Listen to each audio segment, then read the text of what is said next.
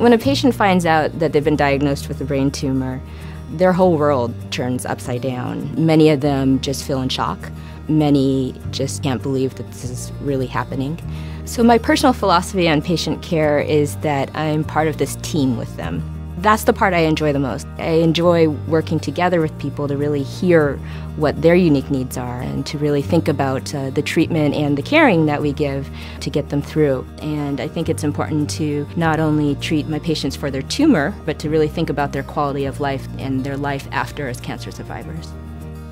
So, for my patients, proton therapy means that I can decrease the dose of radiation to normal parts of the brain that are very important. Protons have the unique property of being able to deposit all of its energy once it enters the body, and thus we can stop it where we want to rather than it completely moving through.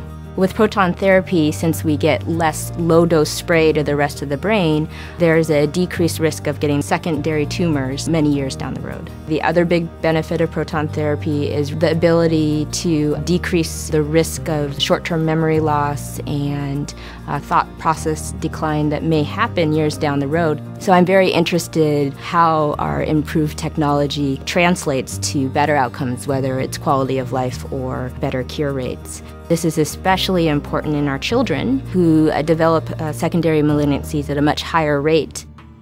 Proton therapy is a huge part of the future of treating kids with cancer. And we have a world class team with Seattle Children's. We are making fantastic advances in chemotherapy and surgery and radiation. And this is the best way that I know of right now to effectively treat the tumor and spare as much healthy tissue as possible so it has the fewest short term and long term side effects. That's crucially important when we treat children because there is no reason why healthy tissue beyond the area where I'm trying to treat should receive radiation. The only reason that the radiation continues to go forward is because with most types of radiation, we can't make it stop. And I think what's particularly gratifying for me, both as a doctor and also as a parent, is knowing that in the future, my patients who are treated with protons will often have fewer long term side effects. And when we think about treating children, the short term side effects are absolutely important, but it's those long term side effects which we really want to minimize. And I think treating with protons allows me to do that for many patients. I am thrilled to have this cutting edge technology here in the Northwest.